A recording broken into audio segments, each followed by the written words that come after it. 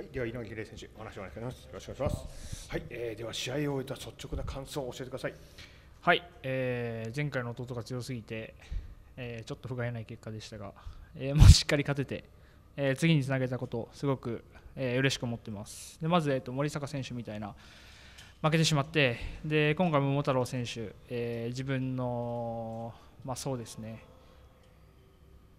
自分の中ではちょっと苦手だなと思う間合いを取りながらの選手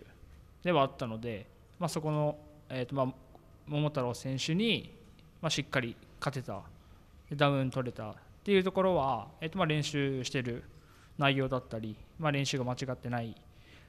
しっかりとした練習ができてるんだなっていうところは率直な意見です。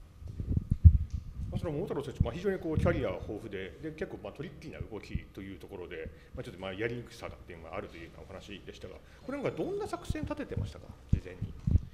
そうですね、えっとまあ、自分としてはやっぱしっかり距離を潰して、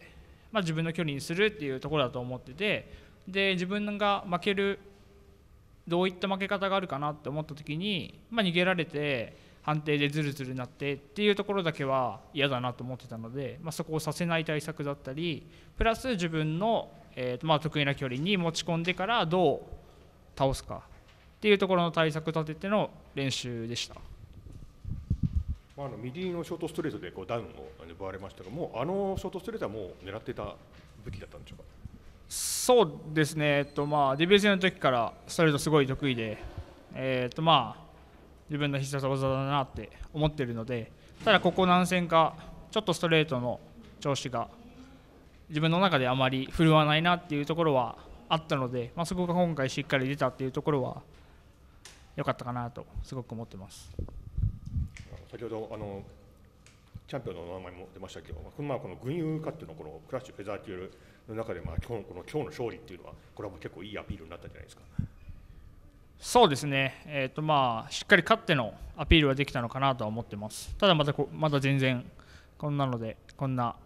内容で、えーとまあ、自分がタイトルマッチやりたいですっていうような言える立場ではないと思うので、また一からしっかりレベルアップして、で、えーとまあ、組んでもらえる試合、しっかり取り組んでいきたいと思ってます。まあご自身の中でまだあの課題反省点があるというような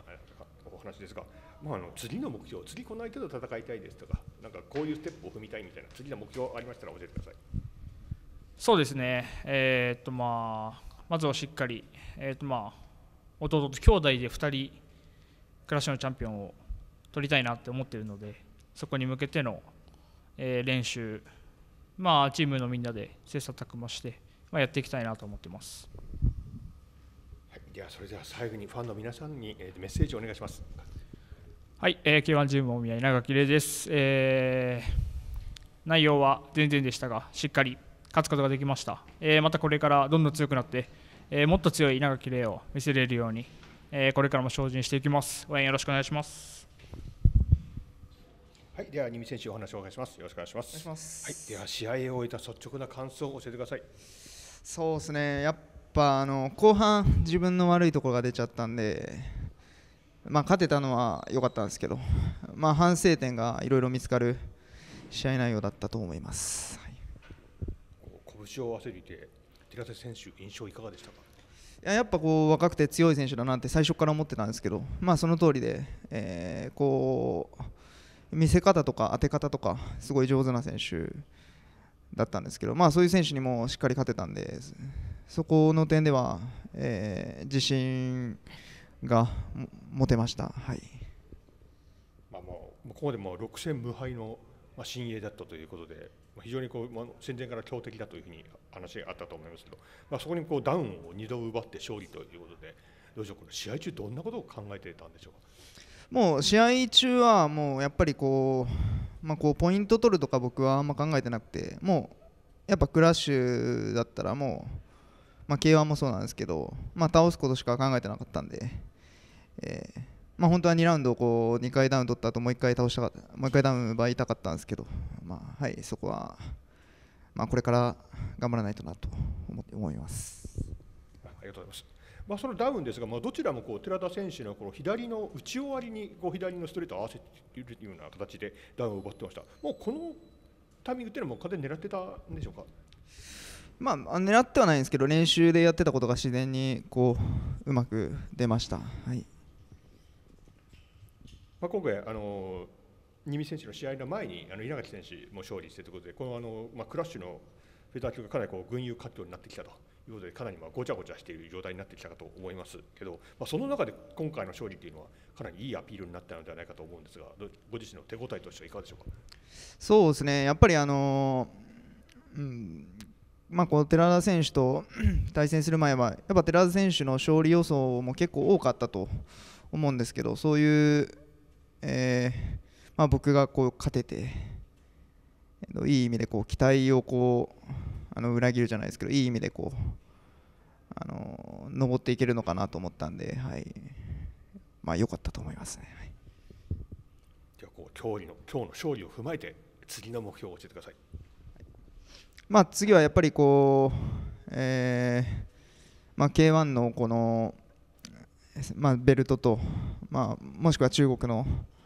中国でのこの世界チャンピオン今僕が目指しているその2つなんで、まあ、こう上の選手をしっかり、まあ、倒していくには、まあ、まだまだこの実力不足だと思うんで、えー、練習でしっかり強くなってまた帰っていきたいと思いますお疲れ様でした。えーと、途中からこう相手の攻撃のタイミングも良くてなかなかこう1ラウンドみたいの前半みたいに思うように前に出れないっていうようなところあったと思うんですけどそういう時にこう焦りだったりとかじゃあどうしようっていうのはどんな感じでしたか？あ3ラウンドですかね。いや、えーととまあ、2ラウンド、まあ、ダウン取ってる時もだったと思うんですけど、まあ、なかなか前に出れない時が多かったと思うんですけど。まあそのまあ、そんなにあの焦ってはなくてですね、えーまあ、しっかり自分のこのやるべきことをしっかりやって、あのー、まあ、倒せたらなと思っていたんで、まあ、ここはもう自分を信じて戦ってました。特にダウン取ってから相手もかなり、まあ、大振りというか大きい攻撃をしてきましたけどさっきあの当て方とか見せ方っていう表現でしたけどこうやばいな倒されちゃうかもなっていう感じはなく？まあないですねはい。もうあのまあ確かに大きい攻撃だったんですけど全然その倒れそうとかは全くなかったんで、はいまあ、ただその大きい攻撃でももらったらその見栄えとかでポイント的にはちょっと取られるかもしれないと思ったんですけど、まあ、僕はもう倒すことしか考えてなかったんで、はいまあ、まあ、なんとかって感じですね。はい、ありがとうございます。はい、それでは最後にファンの皆さんにメッセージをお願いします。はい、えー、なんとか無事に、えー、勝つことができました、えー、これからもっと強くなるので、えー、また、え、応援よろしくお願いします。